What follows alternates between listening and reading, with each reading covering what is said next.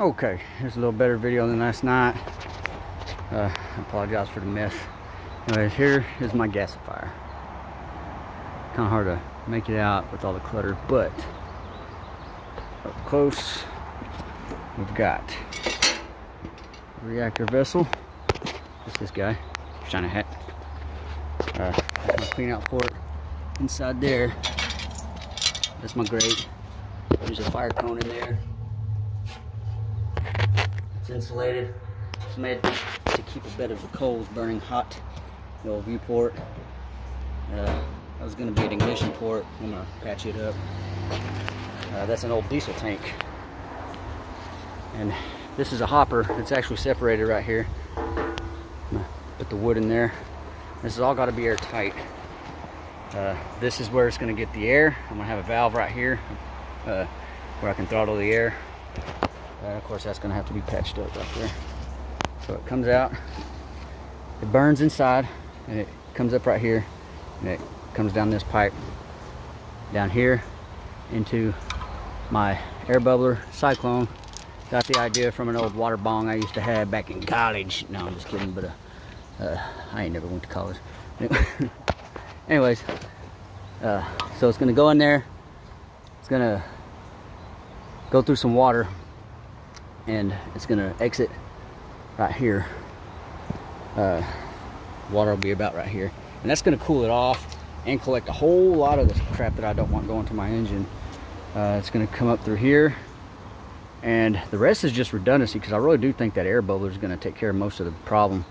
Uh, it's gonna go around here into the the radiator. Split three ways. And here I haven't closed it up yet, but you can see I've got, well, maybe you can see. That center pipe there is up higher where the inlet is actually blasting it right at the side so it doesn't try to go through there and just only there. So it'll actually branch off to the side. And they'll, they'll all come down and go to that cross right there and the, the gas will exit out that pipe and the condensation will form down here. And I got that little valve there. I'm gonna have a little mason jar attached to it. To be able to empty that out. Uh, but anyway so back to the journey. It's going through the radiator out that pipe right there into the tri-filter setup uh, coarse material wood chips or whatever. Uh, the top is going to have a cap so that I can fill it and then the bottom is going to be uh, the same thing. I'm going to have another mason jar to catch condensate and also to clean it out. Uh, and little screen holding everything. Got the idea from Flash uh, USA 00 one, something like that. Anyways, yeah, a real good guy. Took the time out to actually talk to me. Uh, but anyways, coarse material, up and over, medium grade or medium uh, uh, grit or whatever you want to call it, material. Um, something about the consistency of like pillow stuffing, but you know, uh, something that'll work. Uh, probably a little better than pillow stuffing. Uh, down there, and then back across the bottom. And all three of these towers are going to have the mason jar at the bottom and the clean out at the bottom and then the uh, fill port on top. So it's going to go and then back up here. It's my fine material my sawdust. It's going to be real fine sawdust. It's a little shorter than the rest of them. And then it's going to come out the top.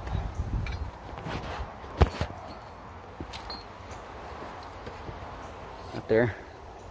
And come out the top into the final filter right here. I was going to put an inline paper filter. Uh, with the very first gasifier I built, this was this was actually the first filter in that that uh, conglomeration. It's an old feedwater tank that we pulled from a customer, and they let me have it. Uh, that tube goes all the way to the bottom, and uh, and I've uh, filled it with wood chips and sawdust and all kinds of stuff, and then I got a uh, no, I'm sorry, it doesn't go all the way to the bottom. This tube goes all the way to the bottom. That tube just terminates right inside. So the smoke goes down, or the gas goes in there, starts filling this up. that effectively becomes basically a gas tank. Uh, but it comes, it's gonna fill that up and the force of itself is gonna push it up through a tube that I've got attached to this T down at the bottom. And I've got even finer sawdust in, that, in there. And it's gonna come up and it's going to exit out here. I'm going to actually turn this this way. And uh, uh, then it's going to be I'm to have a fan which is right there. Fart fan from a bathroom. I'm hoping that's going to be enough. If not I got a couple other fans around here. Uh, to be attached to that in line and it's going to split off. I'm to have that on one train and then splitting off here is going to be another hose with the valve going down to my generator. And I've already modified the air intake with a union half right here. I'm going to pipe just pipe it straight into the air intake uh, as per every internet video that I've seen. Um, and hopefully it, it runs. And this here is a uh, 3500 watt generator uh, no I'm sorry a 4000 watt generator and that is continuous.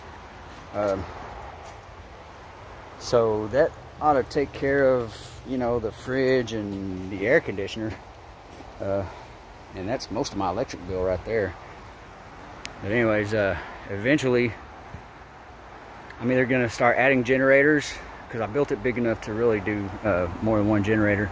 Or I've got another idea I'm working on so I may end up just selling this whole beast right here to somebody uh, but either way uh, I'm hoping my next month's electric bill is, you know, less than 50 bucks. Uh, fingers crossed.